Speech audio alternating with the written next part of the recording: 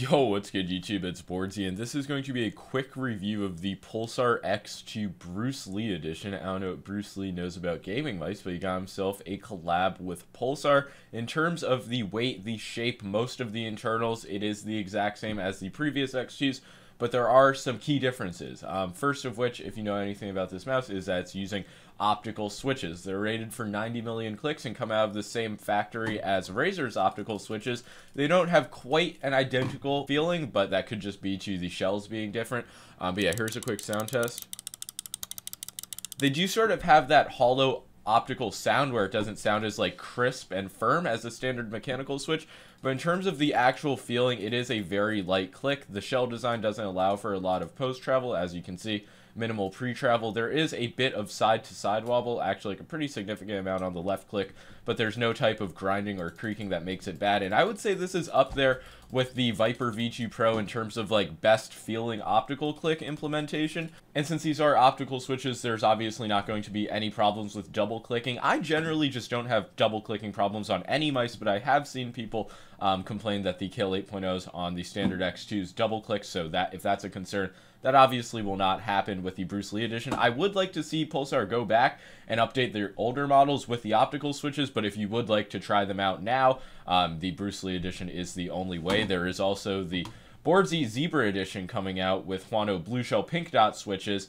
Um, obviously, this is a higher profile collab, so it's going to come out a bit later than the Bruce Lee edition. But yeah, man, the clicks are very nice in general, very light, fast rebound. The quality feels solid on them. It's not like the most exceptional click I've ever felt, but if you're just looking for good, consistent, spammable optical switches, I don't have any squeak issue. The biggest issue I have with them is this grinding, and that has not caused a problem in game. But yeah, the second difference, and really the only other difference as far as I know with this mouse, is the coating. Um, if you remember my early reviews of the X2, they just have this kind of slippery, very plasticky feeling coating. And I was like, it could just be a bit more premium. I'm honestly very happy that for the new collab editions, they have put on a more rubberized feeling coating. I would say it best compares to the G Pro Superlight, but especially after you've used a Superlight for a while, it kind of has like a wet, rubbery feeling. And it's not a bad thing, but like there is definitely some like moistness to the coating of the Superlight, and these are just a bit dry higher, but I would say they give you about 90% as much grip, so it's really fucking good. You don't need grip tape at all, in my opinion. And I don't know if this is just me being a snob because I've used so many mice, but a coating can really make or break a mouse. Like, if a mouse has a nice, grippy, consistent feeling in your hand, it's just going to feel so much nicer long term than something like slippery, cheap, and plasticky feeling. So I'm really happy that Pulsar updated the coatings. Once again, I would like to see them do that to the standard models, but I can confirm that both the Boardzy and the Bruce Lee edition do have updated coatings and switches. So yeah, I'm not really going to go into detail about how I felt the Bruce Lee edition performed compared to the previous models. There was not any discernible difference in terms of click latency, at least that I could experience. Um, this model does come with super glides in the box and it is $120.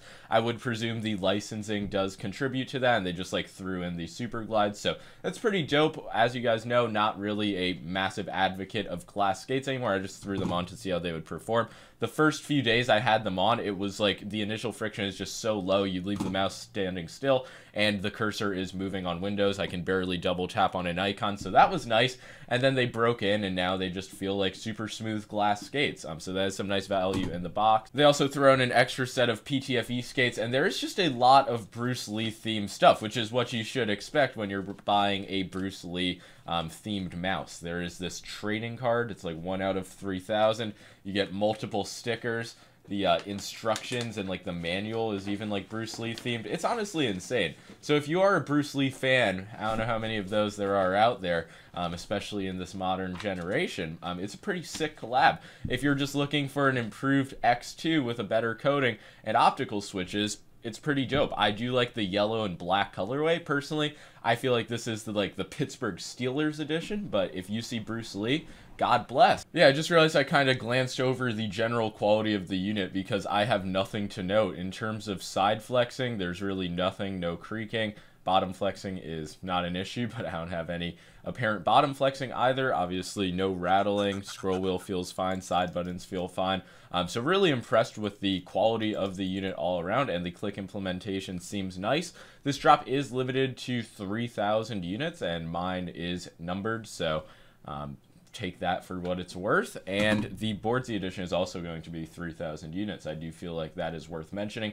Um, I don't know if people really care, but the click implementation on this mouse, um, the Huanos, I just feel like they feel very close to a Zowie mouse's click. But yeah, that's going to be all. I will save a full review of the Zebra edition for another video, but I just figured why not show that off when I'm talking about another X2 collab. But that's going to be all. Like I said, it is $120 for the Bruce Lee edition, so it is a bit more expensive than the standard models, but it does come with super glides.